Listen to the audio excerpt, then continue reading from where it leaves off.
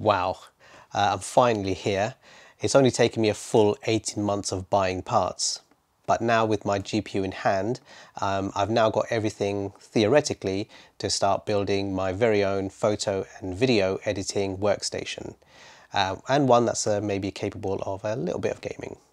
So now with that bit of background out of the way, uh, let's talk about the parts that I'll be using for this build uh, so starting off, um, this was the first thing that I did buy, which is the uh, the case. I settled on the um, Purebase 500DX uh, from Be Quiet.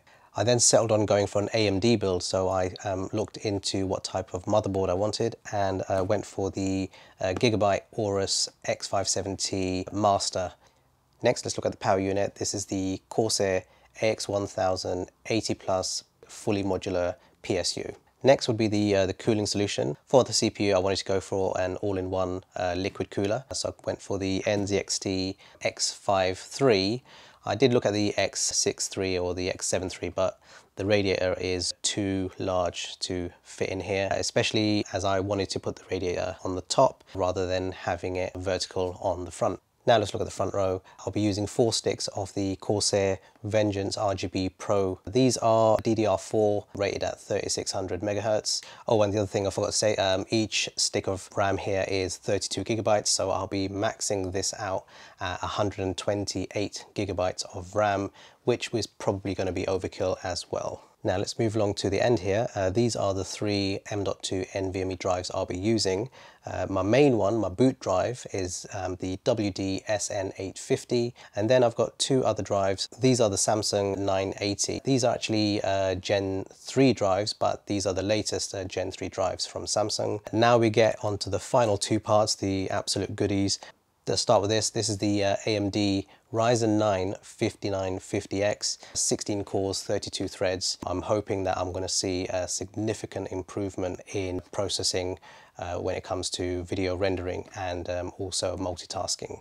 And then we move on to the, the last and hardest part that I've had to buy. I had to sacrifice um, the GPU of choice and instead I've gone for the Gigabyte uh, RTX 2060 uh, overclocked edition. Okay, now let's get to it. I'm really excited about this. To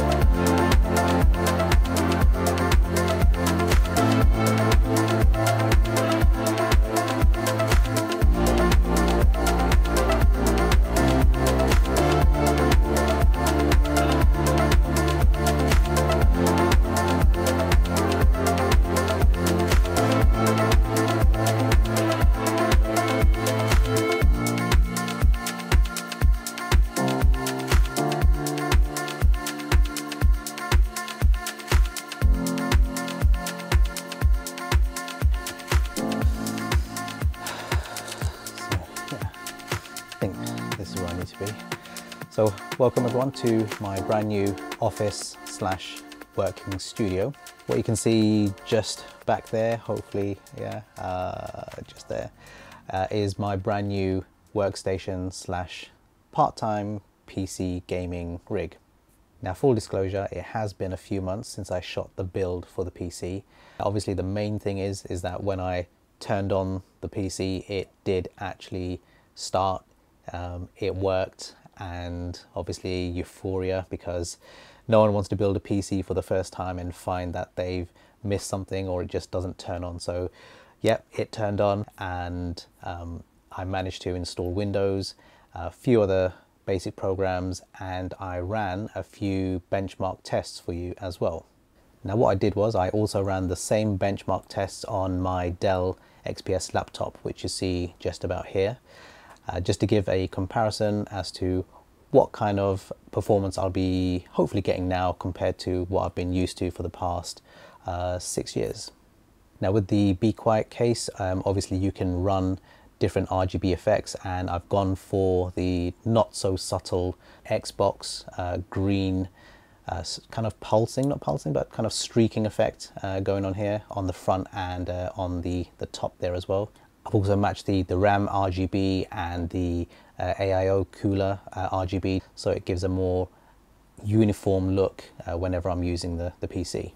I've also made a couple of additional purchases since the time lapse was shot and I will incorporate that into the final price of this build as well. I would say it's not really necessary for it, but it was for my own personal needs.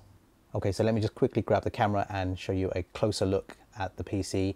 Um, I haven't actually peeled off the film from the side glass panel, which I'm about to do right now.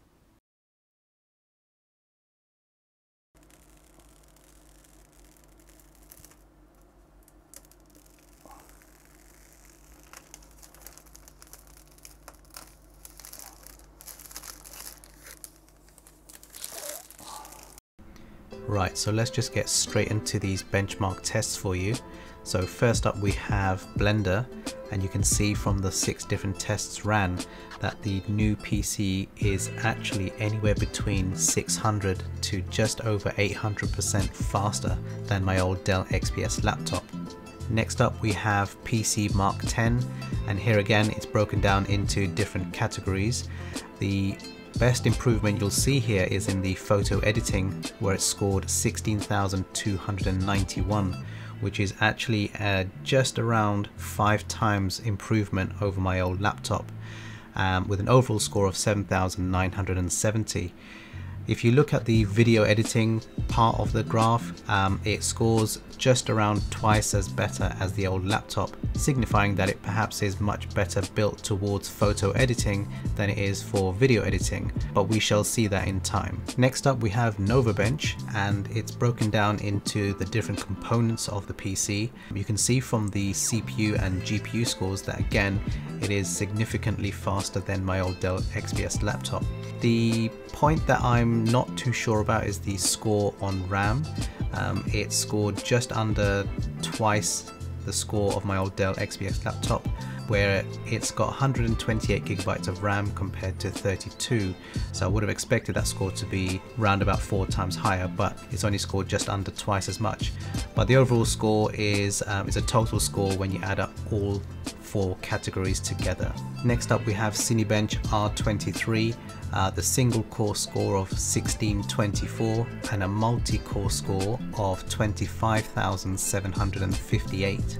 3D Mark was ran through TimeSpy, which is the free test. Here we're looking at 7,670 and then I ran it through Unigine on Heaven Ultra settings. This one is quite interesting because it scored 3715 compared to 645 on my old laptop. But I threw in some extra statistics here as well. The average frame per second on the old laptop was 25.6, which it's not even as good as the base PS4 console and the GPU temperature ran up to 85 degrees Celsius which I would have expected in a laptop but the power draw from that GPU is 55 watts Now when you compare it to my new PC, it averaged 147.5 frames a second uh, with a GPU temperature of 74 degrees Celsius, again probably what I would have expected, and a power draw of 162 watts.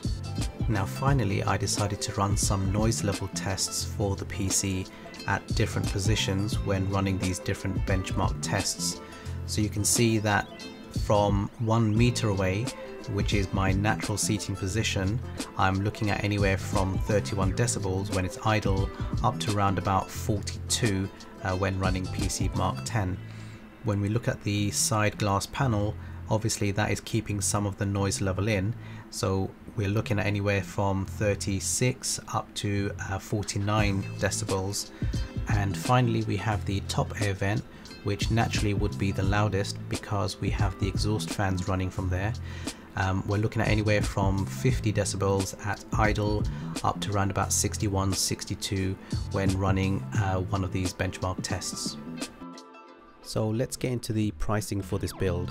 Now feel free to pause the video and have a look at the individual prices for these parts, but bear in mind that these were the cost to me at the time of purchase over the course of 18 months. Some of these can now be found a little, if not a fair bit cheaper, especially with the launch of new CPUs and GPUs and general lower prices for SSDs. Having said that, I'm pleased to say that I came in under my initial target of 4K with a subtotal of £3,550. The exception to this would be the mouse and keyboard, which I personally call essential items to have a PC up and running, uh, bringing the total for my first PC build at £3,775. Right, well that's it. Thank you guys for taking your time to watch this video. I know it has been a long time uh, making and a long time coming to actually get to this point. As always, if you actually found this interesting, then do give it a thumbs up. And uh, as always, I would appreciate any of you who do consider subscribing to this channel for any future uh, videos that I do make. But yeah, I'm, uh, I have to say I'm really, I'm really pleased with myself and uh, how this PC actually turned out. Uh, in terms of the uh, the specs and how it looks, uh, how it performs, and um, I hope it's given you guys some ideas as well um, in terms of how you can build your very first PC. So thank you for watching guys and I hope to see you on the next one.